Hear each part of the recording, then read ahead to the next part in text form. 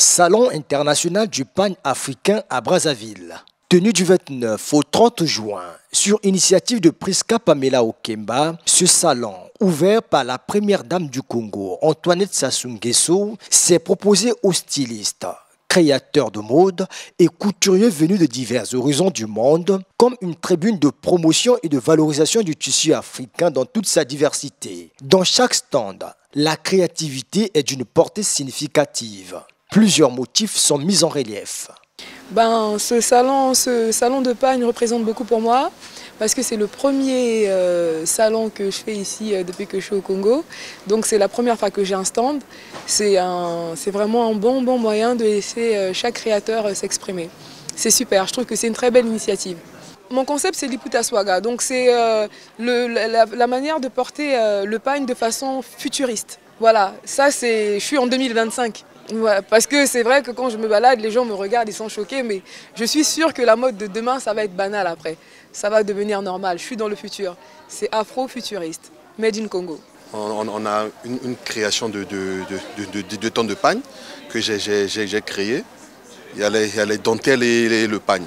Avant, les, femmes achetaient juste les pagnes et les, dentelles à côté.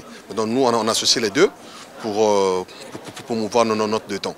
C'est ça, c'est pour ça qu'on est venu ici aujourd'hui pour, pour ça. À cette célébration du pan africain, on a pu également voir des stands réservés uniquement aux accessoires de toutes sortes faits à base du pagne. En fait, euh, nous sommes dans les objets à décoration intérieure. nous valorisons donc le pagne avec euh, des abat-jours. Donc euh, nous sommes dans les luminaires, des poufs, euh, tous les accessoires que vous avez vus, des fauteuils, euh, on essaie, en grosso modo, on essaie de valoriser juste le pagne. De nos jours, le pagne devient, euh, elle fait la fierté de l'Afrique, alors nous soutenons le motif pagne, wax. Les visiteurs, eux, n'ont pas caché leur satisfaction et ont loué l'initiative. Je suis toute contente, on vient de la RDC. En tout cas, vraiment, nous sommes émus. Et c'est beau, c'est...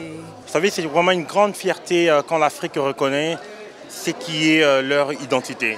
Quand nous disons l'identité africaine, nous sommes vraiment dans le pagne. Le pagne a accompagné toute personne.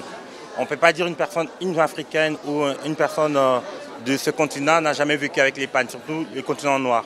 Et j'en suis tellement fier qu'aujourd'hui, Brazzaville a pensé au pagne. Quand je dis le pagne, à la base, Brazzaville a pensé à nos mamans et c'est vraiment une fierté. Entreprendre avec le pagne, comme l'indique bien le thème de ce salon, devient de plus en plus un défi de l'heure au regard du panel d'artistes qui regorgent le continent africain. Priska Pamela Okemba, organisatrice de ce premier salon du pagne africain, nourrit l'ambition de voir la culture vestimentaire africaine contribuer activement au produit intérieur brut des États. Alors l'idée est venue juste, tout simplement parce que de nos jours, en fait, euh, la jeunesse est plus en plus dans le pagne avec euh, beaucoup de créativité. Euh, c'est pour cela que je me suis dit pourquoi pas créer un salon du pagne où on va mettre une plateforme pour permettre aux gens d'échanger et de faire d'autres découvertes aussi. Pas forcément la femme africaine parce que le pagne c'est pas forcément la femme qui porte, les hommes aussi portent le pagne. Donc pour valoriser en fait l'Afrique et son tissu. Ces stands riches en créativité, laissant place à une exposition vente et d'un niveau artistique admirable nous voulons redonner de la valeur à la culture africaine qui est négligée. Nous, nous faisons des produits congolais et africains. Nous fabriquons des produits qui sont très, très originaux, qui reflètent clairement l'Afrique. Là, nous avons les safou. Les safou qu'on retrouve au Cameroun, les safou qu'on retrouve au Cameroun, au Congo, en RDC.